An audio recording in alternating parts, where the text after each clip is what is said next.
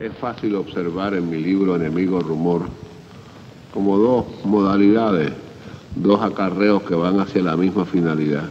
Unos son los poemas más breves y otros pues, los poemas ah, de, desigual extensión en los cuales a veces he insistido. Pero en este mi primer libro, casi toda la primera parte, la llamada Filosofía del Clavel, está formado por pequeños poemas. Uno de los más significativos, yo creo, de ese momento es el que se llame A, que tú escapes, que es el que vamos a decir.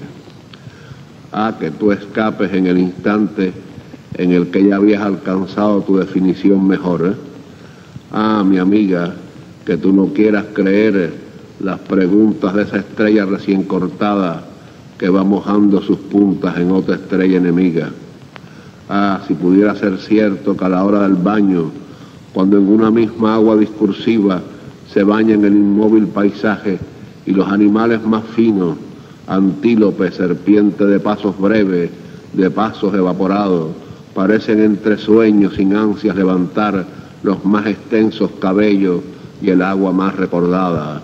Ah, mi amiga, si en el puro mármol de los adioses hubieras dejado la estatua que nos podía acompañar, pues el viento, el viento gracioso, se extiende como un gato para dejarse definir. ¿eh?